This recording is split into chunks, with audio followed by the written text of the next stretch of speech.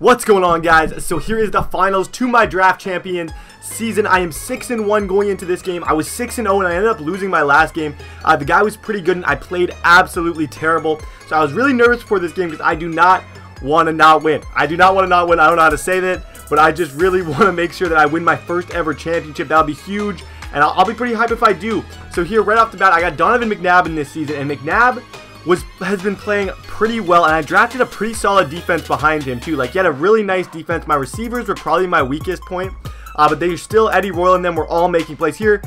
Third down and two, I do not convert, so I go for it on fourth down and three, and I hit Eddie Royal on a little drag route. I was just killing the drag routes, especially because I had Brandin Cooks on my team as well. And here I roll out with Donovan McNabb. I see Benny Cunningham going up this side, and I throw a pass lead outside, and he catches it which was super clutch. You got to score on your first drive. If you decide, I always decide to pick the ball first because I like to go out there and I like to score and take the momentum right off the bat, put the pressure on him to get on offense and make sure he scores. So here, third and one again, I give it to Benny Cunningham, who breaks tackles. Whenever I see Benny Cunningham as my running back, or like Christine Michael, I don't draft running backs. And then he gets in there for the touchdown to make it 7-0 right off the bat. I am super hype about this. And then he tries to run a screenplay on me on the first play of the game, and Brian Orakpo, flashback Orakpo, gets so clutch with an interception. I dive into the end zone, and we are up 14 nothing very, very early. I'm hype. He almost takes this kick return for six. That's why I showed that, because he was very, very close to taking that for a touchdown. And then he's rolling out with Big Ben, looking, throws it to the sidelines, and he converts on first and 10. I don't know why I said converts on first and 10. I kind of messed up my language there.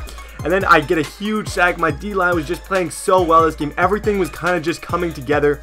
And it felt really, really nice when it finally happened. And then here, Trae Waynes gets a huge interception. I was so pumped when I got that. And then this guy decided he was out and he is going to quit. So we get some packs from this, as you know. Uh, you get a leg. How it works is uh, you get a Legends pack. And these in Legends packs, you don't always get something good, but there's always like a decent chance you get something that's all right. Uh, so I knew that going into this. So in my first Legends pack here, this is not a live commentary, so I'm not going to be able to give you my live reaction to what I was pulling. But I'll be able to show you guys what I do end up to getting. So there you see, I got three stars and I'm moving up. I didn't really understand how that worked with like the bronze thing. Now I kind of get it. It's like a circle and you got to fill the circle. It's starting to make a lot more sense to me as I keep playing games. Uh, so here uh, we get to open our legendary pack, which you know I'm hyped for. It's got Bo Jackson on the front. I don't even know if Bo Jackson's in the game yet, but he is on the front of the thing. So here we go.